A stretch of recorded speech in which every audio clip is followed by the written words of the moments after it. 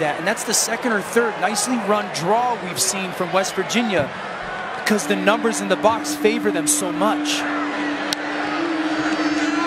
Greer. Sills dives. Did he